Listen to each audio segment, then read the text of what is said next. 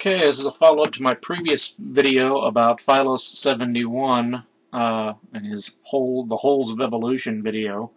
Um, first of all, I'd like to note that he has blocked my video response from showing up as a response to his video, and he has also now blocked me from even leaving text messages. You can draw your own conclusions as to why that might be. A um, couple of quick follow-up things about uh, this book, which he makes to be quoting from, from quote doesn't appear in here. Uh, he also uh, argues that it does not contain a single uh, transitional form or intermediate form. And I'd just like to quickly show, and I'll give page numbers, unlike him. Page 255 has a synapsid or mammal-like reptiles uh, are known as mammal-like reptiles because they have characteristics both of mammals and reptiles. Uh, next page, more more examples. Uh, the transition from reptile to mammals, one of the best documented major transitions in the fossil record. Creationists are in complete denial about this. What can you do? Uh, very next page, is Archaeopteryx, Archaeopteryx lithographica, which he mentions, but waves away by claiming that uh, reptiles have scales and birds have feathers. Well, to be more accurate, both birds and reptiles have scales. Uh, and furthermore, uh, there have been a lot more finds since Archaeopteryx, uh, including things which, uh, based on the skeleton, are classified as dinosaurs, but which also have feathers. So dinosaurs had feathers.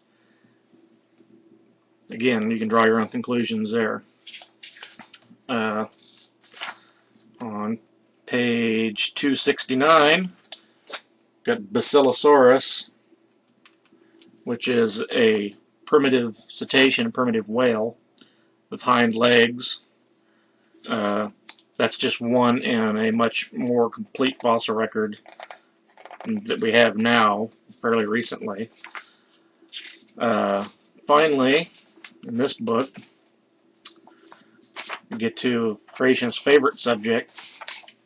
Human evolution has uh, Homo habilis and Australopithecines, or Australopithecus, not Australopithecus, or whatever the hell he's saying, if you don't even know how to pronounce the words, then you're probably not in a good position to be judging the validity of the fossils. Uh, uh, he complains about the fact they're not complete.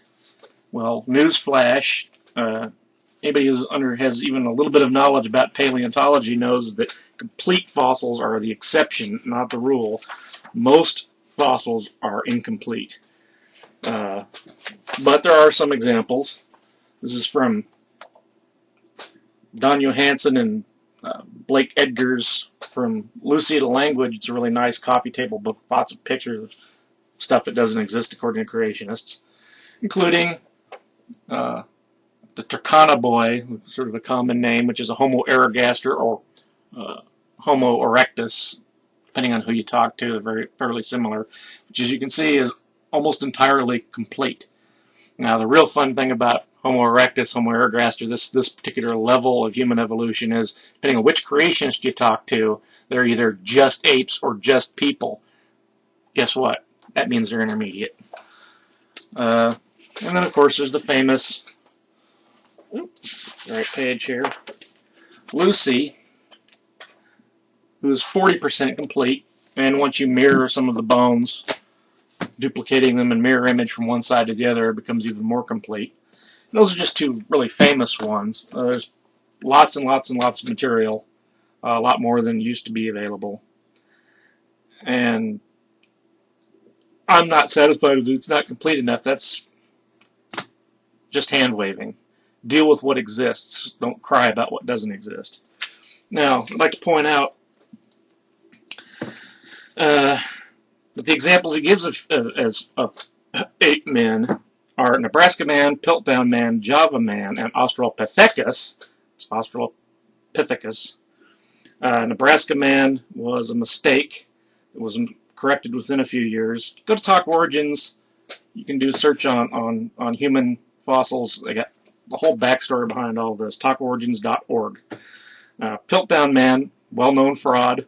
The well-known fraud. Everybody knows it's a fraud. Been a, everybody's known it's a fraud since the 50s. Why they keep going on about it.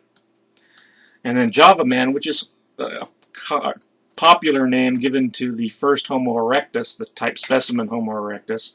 We found lots more Homo erectus, including the one almost complete fossil that I showed earlier.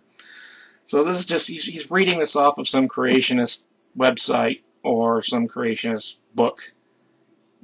He doesn't know what the hell he's talking about on his own accord. He's just parroting. So, anyway, a little more information. Uh, I'd say it's strike two and three on on this guy.